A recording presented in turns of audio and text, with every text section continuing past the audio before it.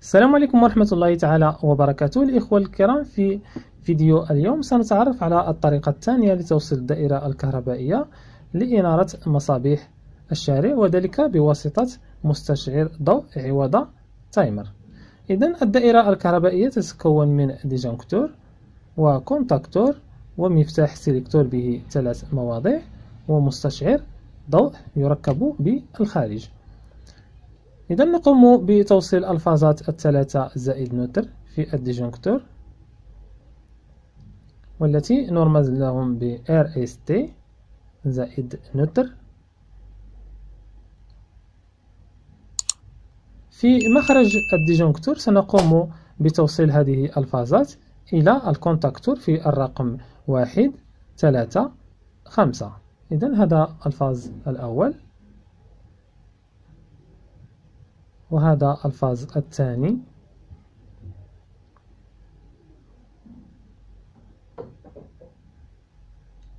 وهذا ال phase الثالث.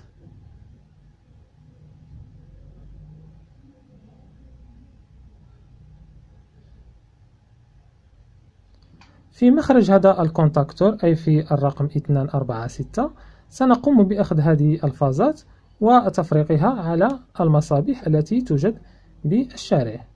إذا مثلا هنا لدينا ست مصابيح فكل مصباحين سنقوم بربطهم بفاز. إذا هذا الفاز الثاني نقوم بالذهاب به إلى أحد المصباحين.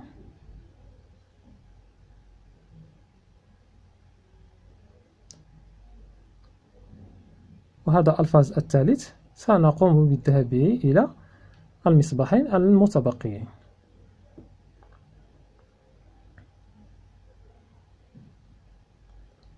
بالنسبة لدائرة التحكم سنقوم بأخذ أحد الفازات وتوصيله بمفتاح السيلكتور في النقطة المشتركة.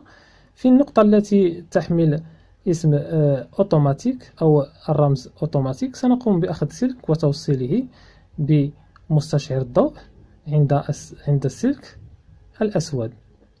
في السلك الأحمر سنقوم بأخذ سلك وتوصيله مباشرة في الآ واحد في الكونتاكتور.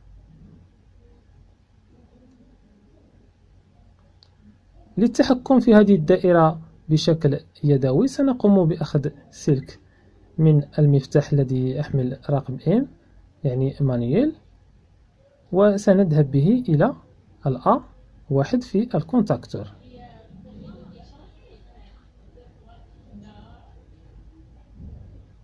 يتبقى الآن سلك ال neutre سنقوم بالذهاب به إلى المستشعر لأن هذا المستشعر يشتغل ب 220 فولت.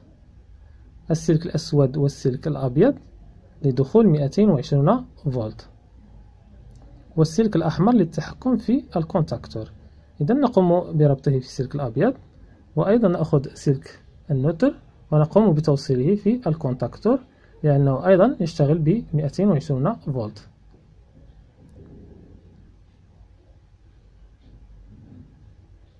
وفي الأخير نقوم بتوصيل سلك ال neutre للمصابيح الكهربائية. إذا هذه هي الدائرة الكهربائية للتحكم في إطفاء وإشعال مصابيح الشارع بواسطة مستشعر ضوء يركب بالخارج.